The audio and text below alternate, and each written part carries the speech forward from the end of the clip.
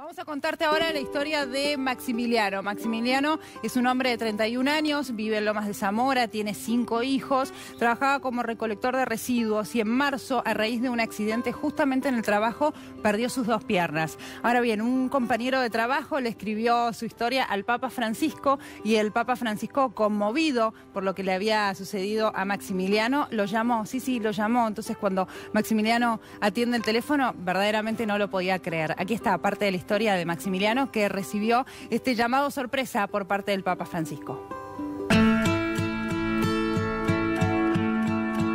Salvó su vida de milagro y hasta el Papa Francisco en el día de ayer se comunicó para felicitarlo. Maxi, gracias por recibirnos en tu casa. Muchísimas gracias por todo. ¿Vamos a contar tu historia? ¿Nos acompañan?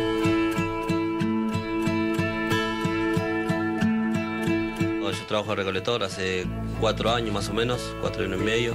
Eh, Salimos a la noche, eh, fue en Juan B. Justo de Ibera, estaba el camión, eh, se estaciona el camión y nosotros estábamos tirando escombros, me acuerdo.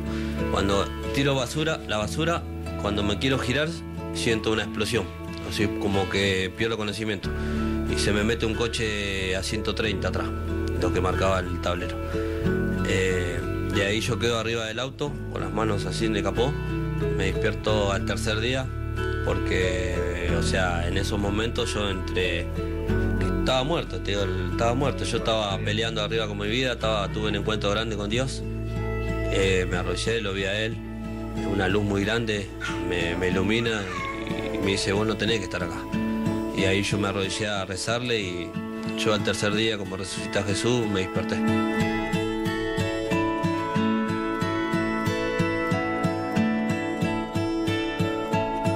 Lo que te digo que me despierto el tercer día, al cuarto, al quinto, de sala de terapia intensiva me pasan a sala común.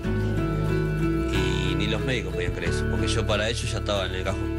El legislador Gustavo Vera, que fue quien le dio a, conocer tu historia al Papa Francisco, eh, destacó que vos lo primero que pediste fue trabajar. Gustavo Vera fue que le, generó una carta, una carta, le comentó mi caso, lo que yo había logrado y que le conmovió mucho y que por eso me llamaba para darme fuerza, que, que Dios es grande, que existe, que, que siga adelante, ¿no?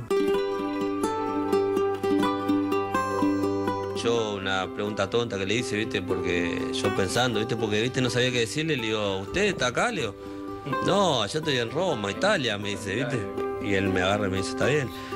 Si no voy yo, eh, vení vos, me dice, porque te quiero ver, mijo. Así que el día que venga, calculo que me va a venir a ver y me quería conocer el caso personalmente, me quería saludar, me, le conmovió mucho.